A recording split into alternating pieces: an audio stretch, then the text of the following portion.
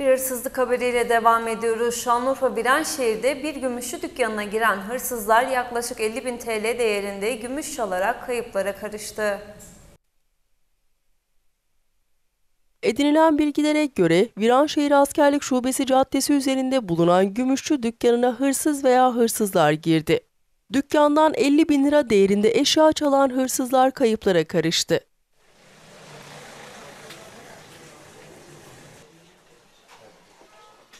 Dükkan sahibi Ali Gezen sabah iş yerini açtığında şok yaşadı.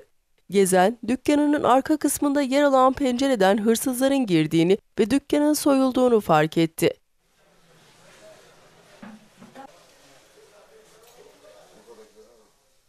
Hemen polislere haber veren Ali Gezen, dükkanın arka kısmında yer alan demir parmaklıkların yerinden söküldüğünü, buradan giren kişi veya kişilerin dükkanı soyduğunu ifade etti. Belirsiz. Biz de bilmiyoruz kaç kişi olduğunu. Arka camı kırarak pencere vardı. Pencereyi kırarak arka sprayla mı kesmişler, makasla mı kesmişler biz de bilmiyoruz. Ulaşlar bindikleri her şeyi götürmüşler zaten. Dükkandan hiçbir şey kalmamış. Yani yaklaşık bir 50 bin civarında bir zararımız var. İşte arkadaşlar, polis arkadaşlar geldi, görüntü aldı, parmak izleri aldı.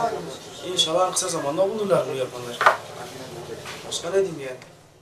Dükkandan yaklaşık 50 bin lira değerinde eşya çalan kişilerin yakalanması için çalışma başlatıldı.